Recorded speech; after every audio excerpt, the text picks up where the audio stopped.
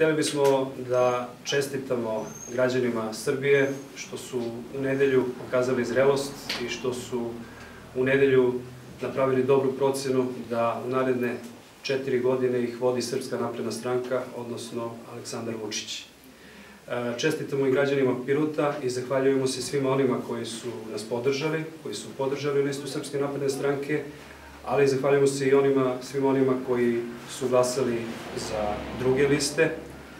Ovo će biti vlast koja će voditi sve građane i nećemo praviti razliku između onih koji su glasali za Srpsku naprednu stranku i onih koji su glasali za druge. E, bili smo svjedoci u predizbornoj kampanji da su pojedine liste i stranke vodile lokalnu kampanju, dakle, totalno promašena tema, to se pokazalo rezultatom njihovim na ovim parlamentarnim izborima. Srpska napredna stranka je vodila kampanju za parlamentarne izbore, Srpska napredna stranka je ostvarila odličan rezultat u Pirotu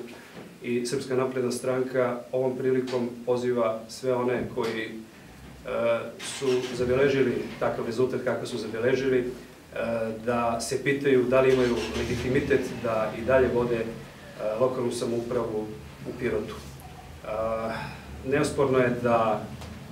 legalitet postoji, međutim pitanje legitimiteta